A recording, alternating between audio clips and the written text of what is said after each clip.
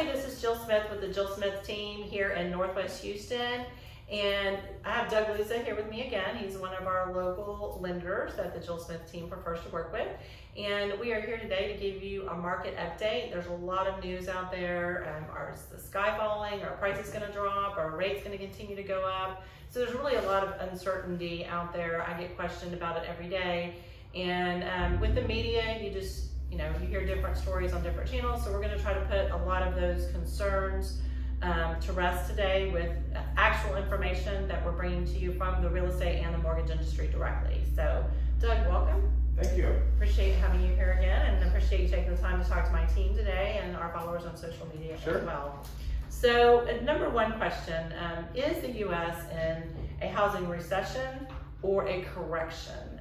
And what would be your answer to that, and how would you explain that? First of all, that is a pretty awesome question because I'm hearing, and like a lot of you out there hearing, are we in a recession? And then now you're starting to hear other words like maybe it's not a recession, maybe it's possibly a correction.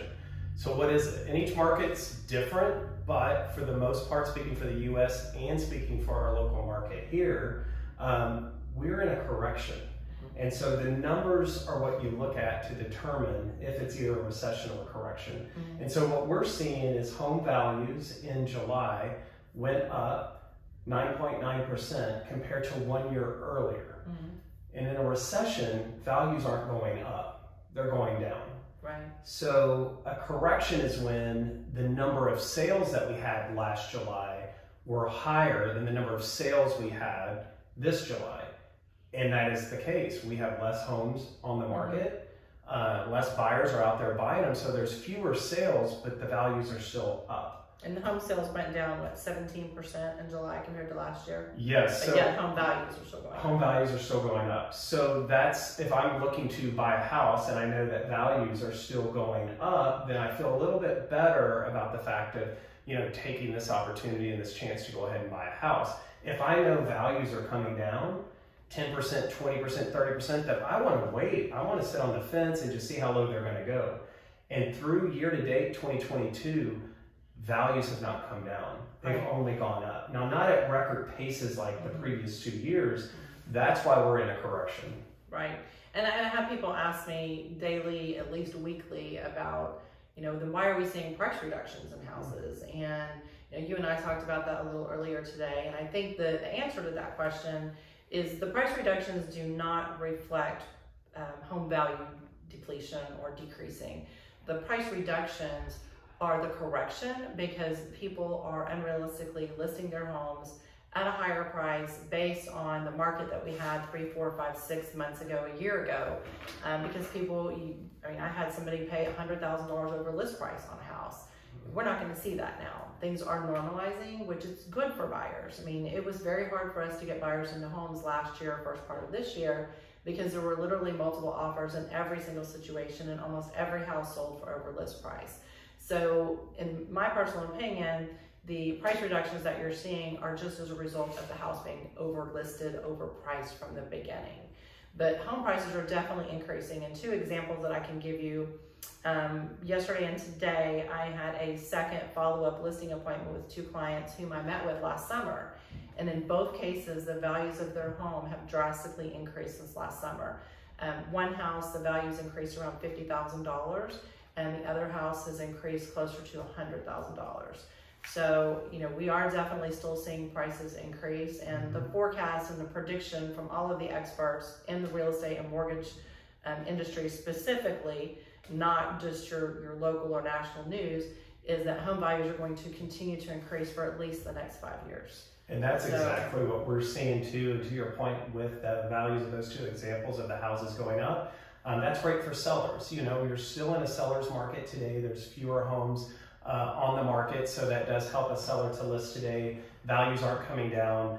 But what's good for buyers is we're starting to see, like you said, price reductions in markets uh, or in communities where maybe the price was uh, too high. And so if you're a buyer and we're starting to see one out of five homes now, we're seeing uh, value, getting a price deduction, mm-hmm. that kind of encourages me as a buyer um, to know that, hey, you know, unless it's priced right, and you're going to know that working with your agent, mm-hmm. that, you know, put that contract down, but if it's not priced right, maybe you're going to get a price reduction and have that opportunity. Well, and another big reason why we're we're not seeing the multiple offer situation is not just an indication because mortgage rates have gone up a little bit, and we'll have Doug talk about that in a minute.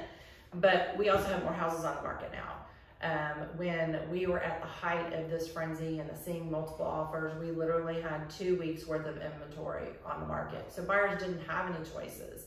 You know, they had, if they wanted that house, they had no choice but to pay at least full price or over price. And there were always multiple um, offers on every home because of the lack of inventory. Now we're at two and a half months worth of inventory. So two weeks to two and a half months, that's a huge increase. So there's a lot more houses on the market. So that's why it's more important today that sellers price their home correctly from the beginning because buyers do have choices. But it is still a seller's market. Six months is an average market. So two and a half months is still a seller's market. And for those of you that don't know exactly what that means, two and a half months means that based on the rate that homes have sold over the last 12 months, it would take two and a half months to sell everything that's currently on the market. So that, that's definitely helping buyers, but again, it's still a good seller's market as well. Absolutely, and some other things that are great for buyers today. Um, down payment assistance if you're a first-time home buyer, and I think we'll do another segment, so stay tuned for that. Um, but if you're a first-time home buyer, there's some programs out there that are really, really great.